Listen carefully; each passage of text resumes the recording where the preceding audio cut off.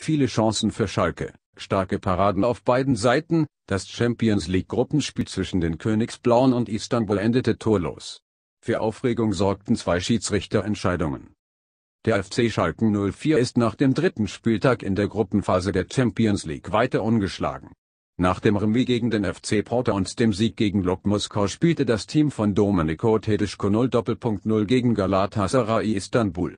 Dabei waren die Königsblauen in der zweiten Hälfte das bessere Team. Coach Tedesco hatte die Startaufstellung nach der 0.2 Niederlage gegen Werder Bremen auf sieben Positionen verändert. Aus dem Bremen-Spiel verblieben nur Torhüter Alexander Nübel sowie Salif Sen, Daniel Caligiuri und Hamza Mentül in der Startelf.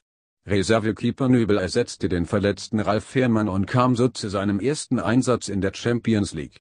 Innenverteidiger Naldo konnte ebenfalls aus gesundheitlichen Gründen nicht auflaufen.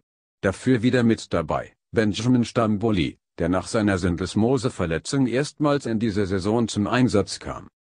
Für Aufregung sorgte eine Szene in der 13. Minute als Istanbuls Keeper Fernando Muslera in den heranstürmenden Jeffen Konopleanka hin ansprang und damit eine erste gefährliche Schalker Torchance vereitelte.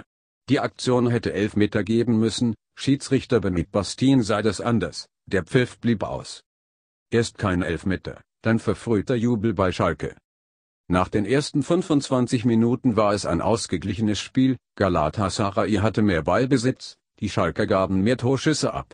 Kurz vor Halbzeitpfiff hatte Aaron Derdjuk die bis dahin beste Gelegenheit für die Gastgeber, scheiterte aber an Schalkes Torhüter Nübel, der genau richtig stand und den Schuss aus 5 Metern mit dem Kopf klärte, 45. im direkten Gegenzug parierte Muslera einen Schuss von Konoplanka und lenkte den Ball über das Tor, 45 Punkt plus 1.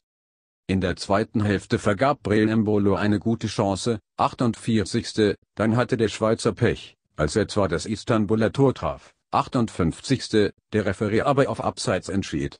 Verfrühter Jubel bei den Knappen, da der Assistent die Fahne erst sehr spät gehoben hatte. Schalke dominierte die zweite Hälfte, für drei Punkte reichte es dennoch nicht. Schalke hatte nach dem zweiten Spieltag mit dem FC Porto Punkte gleich, 4, auf dem ersten Platz der Gruppe D gelegen. Galatasaray hatte einen Zähler weniger. Da Porto 3 Doppelpunkt 1 gegen Moskau gewonnen hat, führt der Club die Tabelle an, siebte Schalke ist Zweiter mit fünf Punkten, Istanbul Dritter, vier. Galatasaray Istanbul, Schalken 0 für 0 Doppelpunkt 0. Istanbul, Muslera, Linnes, Maikon, Ozan Kabak, Nagatomo, 81. Baram, Minus Pilhanda, Donk, Dieu, Sinan Gömes, 61. Selkuk in An, Derduk, 70. Zelik, Rodriguez. Schalke, Nübel, Caliguri, Salifsen, Nastasik, Mentül, Rudi, Stemboli, Ud, 90. Burgstülle, Serdar, Konoplyanka, 77. Zipski, minus Embolo, 82. Knie. Gelbe Karten, Nagatomo, Linnes, Bilhanda, Embolo. Schiedsrichter, Benit Bastin, Frankreich. Zuschauer, 45.000.